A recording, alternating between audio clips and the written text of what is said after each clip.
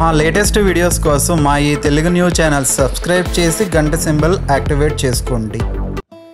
జీవితంలో ఎనర్జీ అనేది ముఖ్య పాత్ర వహించి ప్రభావం చూపుతుంది. అలాగే ఇతరుల వస్తువులు వాడుకోవడం ద్వారా ఆర్థిక సమస్యలు ఎక్కువ అవడం మరియు నిరాశ నిస్పృహలు కూడా ఎక్కువ అవుతాయి ఆ వస్తువులు ఏమిటో తెలుసుకుందాం.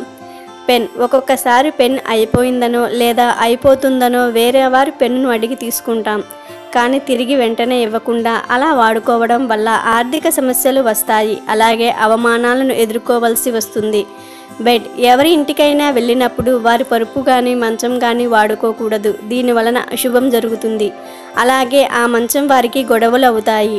వాచ్ ఇతరుల వాచ్ వాడుకోవడం వల్ల ఆర్థికంగా చాలా సమస్యలు ఎదుర్కోవలసి వస్తుంది. అలాగే ఉద్యోగరీత్యా చాలా కష్టాలు వస్తాయి.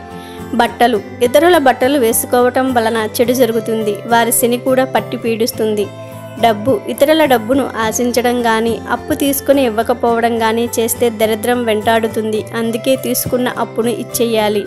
చీఫ్. ఇతరుల కచ్చీఫ్ను వాడరాదు. ఇలా వాడటం వలన ఆర్థిక పరిస్థితి దిగజారుతుంది. అలాగే కచ్చీఫ్ ఇచ్చిన వ్యక్తికి తీసుకున్న వ్యక్తికి మధ్య గొడవలు జరుగుతాయి. ప్రతి వస్తువులో పాజిటివ్ ఎనర్జీ మరియు నెగిటివ్ ఎనర్జీ ఉంటుంది కావున జాగ్రత్తగా వాడుకోవాలి. ఈ వీడియో నచ్చితే లైక్ చేయండి షేర్ చేయండి బట్ సబ్స్క్రైబ్ చేసుకోవడం మర్చిపోవద్దు.